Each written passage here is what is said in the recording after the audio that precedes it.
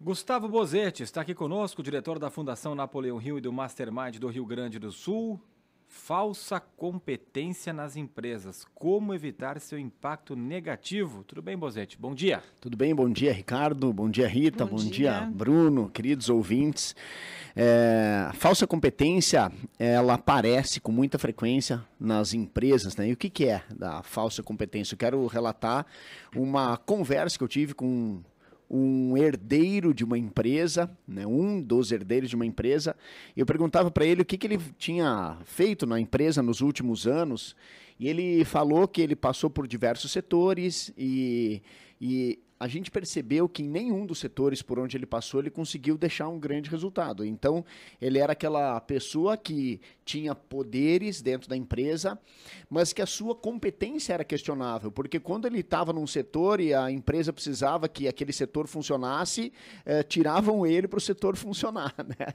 Então, ele estava ali muito mais em função da herança que ele tinha, do vínculo sanguíneo, do que por competência, por, por características próprias. Né? O que é a falsa competência? São aquelas pessoas que demonstram, de alguma forma, uh, certa boa vontade, são pessoas que podem ser carismáticas, são pessoas que têm algumas falas interessantes, emblemáticas, que elas até conhecem alguns assuntos, mas quando nós vamos verificar a fundo os resultados que essa pessoa tem condições de produzir, os resultados são muito vazios, são resultados muito, pré, muito próximos do zero. E nós chamamos essas pessoas de falsos competentes. Por quê? Porque eles aparentam ter certa competência, mas na verdade, quando a gente começa a espremer, não sai nada.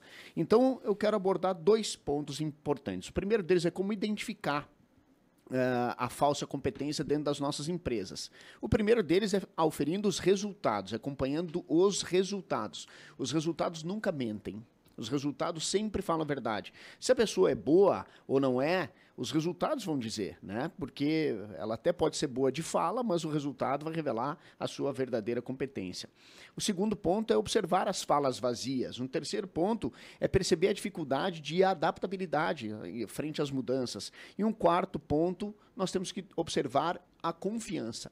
O excesso de autoconfiança pode ser prejudicial para as pessoas que, que demonstram ter essa falsa competência. E como evitar é, fa os falsos competentes dentro da empresa? E aqui fica uma dica, eh, gente.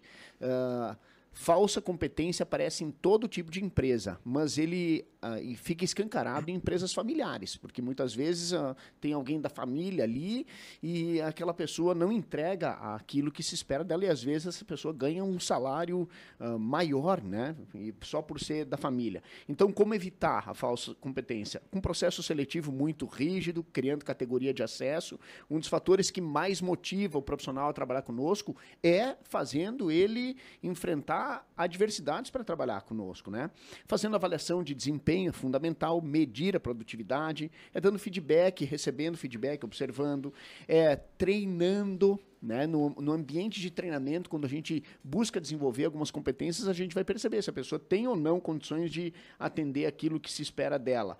É, trazendo humildade intelectual para dentro da, da empresa, mas acima de tudo é verificando qual é a capacidade da pessoa produzir resultados, atingir metas. Então, essa é a dica de hoje. Se você, por acaso, tem uma empresa, tome cuidado com as, as falsas competências ou os falsos competentes que estão inseridos na empresa, porque eles podem estar tá consumindo a lucratividade atividade, o resultado da, organização, né? Interessante, muitas vezes não se dá por conta disso, né, Bozetti? Se tem uma ideia de quantos falsos competentes a gente tem dentro de cada empresa, uma média aí? Essa é uma pergunta. A gente começa, a, a, gente começa agora a se perguntar, né? Começar a fazer quem é que é, é. falso competente, que, quem é que pode ser, onde, onde é que eu já trabalhei. É, toda empresa tem um falso competente ali enrustido. Normalmente eles não aparecem, nem fazem muita questão de aparecer, né? É uma pergunta boa, mas não tem uma resposta precisa, né, é, Ricardo? Algumas empresas elas estão mais vulneráveis a ter falsos competentes. Né? É, tem uma coisa que eu tenho falado bastante que eu sinto que impacta. Assim. Ah, algumas empresas se orgulham de trazer um indicador, que é o tempo de casa. Bah, Gustavo, a minha empresa tem um funcionário aqui que já está há 15 anos, 20 anos conosco. Eu sempre digo que este indicador, de forma isolada, ele não diz nada. Ele, se a empresa é uma empresa que tem gestão de alta performance e ainda assim consegue manter um colaborador em alta performance por 15, 20, 30 anos, uau! Agora, se por acaso a empresa não tem uma gestão de alta performance e mantém uma pessoa acomodada, improdutiva durante 15, 20 anos, se analisar e colocar na ponta do lápis, essa pessoa improdutiva já consumiu mais riqueza do que o próprio dono da empresa tem.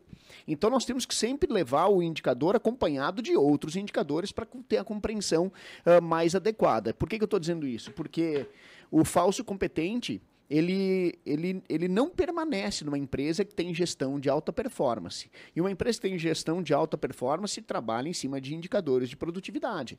Uh, hoje em dia tem se falado muito sobre controle de produtividade, não tanto mais controle de jornada de trabalho, mas sim verificar o quanto a pessoa está produzindo. Né? É importante que as empresas fiquem atentas para isso. Né? E aí, observação, né? A gente Observar. fala muitas vezes aqui sobre isso, observar. Exatamente. Se auto-observar, observar o outro, né? As empresas observarem as pessoas que, que trabalham nela. Também uma boa dica, Rita. Chegar no final do expediente e colocar o que, que eu produzi hoje. Se você quer fugir da armadilha uh, de cair nessa falsa competência, coloque na ponta do lápis, no final do expediente, o que você produziu só por hoje. Já é uma forma de driblar aí a falsa competência.